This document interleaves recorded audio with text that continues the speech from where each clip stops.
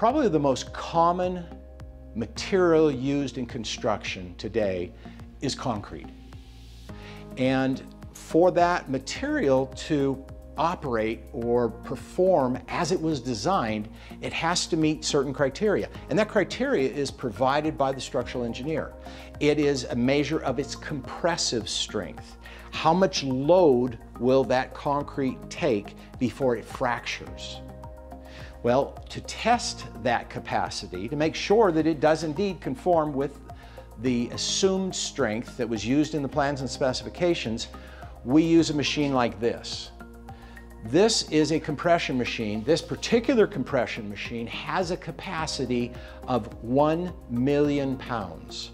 Uh, there are only two like it in Southern California, and we have one of them. What we do with this machine is we take samples of concrete. They may be concrete cylinders. Uh, we take samples of grout, of mortar.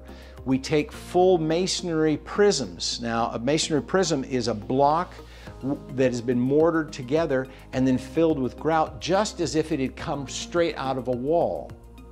And we test them in this machine. Well, one of the things we're going to show you today is called concrete masonry unit conformance testing.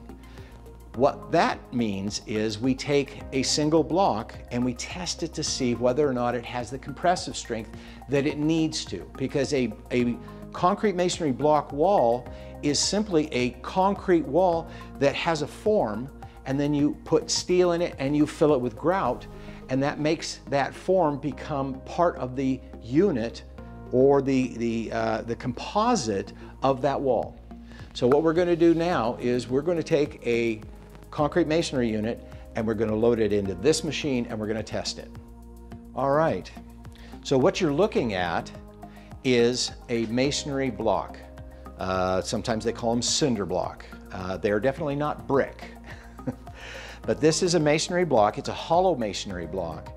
And in this particular case, there isn't a center wythe. Uh, sometimes you see them and it looks like they've got a cell here and a cell here. Well, this one is just an open cell.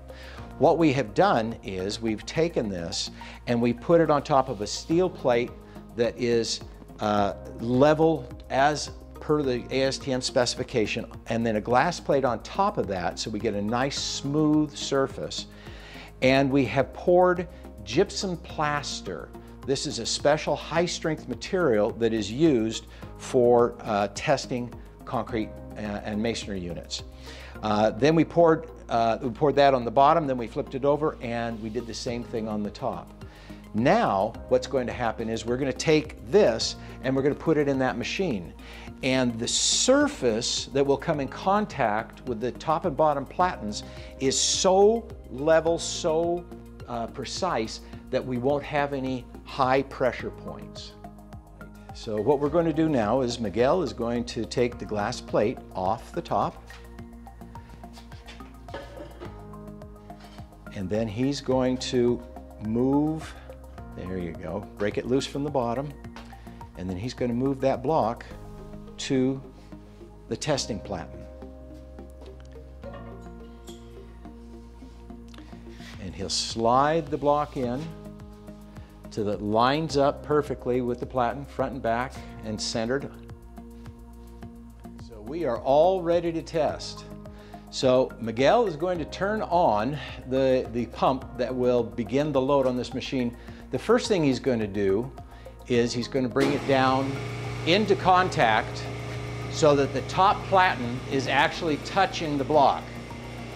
That has to be done very carefully. That top platen, that big block that's up on top of the concrete masonry unit, the big steel block, actually pivots, it swivels so that it can be uh, placed absolutely level on top of the block. Once that's brought down, then the pressure that's exerted will be uniform across the entire surface of the top of the block. You'll notice in the, in the, uh, in the picture that there is a large steel cylinder that's below all of the, all of the machine that's being tested. That's actually what's pushing. The bottom is coming up. All right, so now we are going to begin the load. And as you'll, uh, what's happening is the load is starting to increase, and as it does, the um, pressure on that block is increasing. Right now, we're at about 5,600 pounds of pressure. We're coming a little over seven, 70,000 pounds of pressure. 90,000 pounds of pressure. Again, this is all, this is load, this is pounds. 100,000 pounds of pressure. We, we don't know what the cross-sectional area of the block is uh, to put it into the machine. We know what it is from our measurements, but we won't be able to give you the PSI until after we're done. So we're up to 144,000 pounds of pressure. Now this machine, again, is capable of putting 1 million pounds of pressure. so it doesn't, uh, it, it's not intimidated by that block. But as you'll see, the block certainly did uh, give away under the pressure. All right, so our total was 159,150 pounds of pressure. Uh, by knowing the measurement of the cross-sectional area of the concrete portion of that block, not the, not the void in between, uh, we can then calculate the uh, total PSI that that block withstood in its work. So Miguel now is going to pull that out and he'll show you a little bit of what it looked like uh, after the test was completed. Here we have the block after the, uh, the testing is finished. You can see that the corner has fallen off, but it actually has fractured all the way across the block. It's just that the corner piece fell off first. Here's, here's part of what fell off. You can see that it actually sheared right through the aggregates. Uh, there's a, a good matrix in here. So the material that was used was very consistent. What I would like to do is have Miguel now take this and we're going to open it up so that you can see what the inside of this looks like where, right along the fracture surface. Here's one of the walls and again you can see the uniformity of the fractures right through all of the aggregates. Uh, it's a beautiful cone shape. In other words, it broke so that the uh, surface of the fracture was diagonal. This is a very typical uh, uh, fracture pattern and it shows that the block was uniformly constructed and conformed. In fact, the results of this test was 2,240 PSI, so it conformed to the requirements for this block. Thank you for being with us today. It's been a real pleasure having you in the lab. We hope that in the process that you've learned something, something about the industry that we work in. We hope that we have been able to educate, that there have been some things that you've seen that maybe you didn't know before, maybe that you uh, understand better now.